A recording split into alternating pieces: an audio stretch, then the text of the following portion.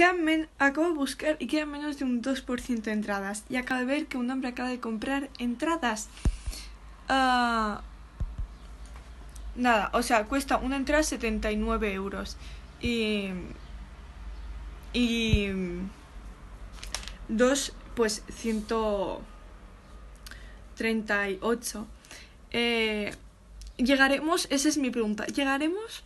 No creo. Creo que me quedaré sin ver a Harry Styles.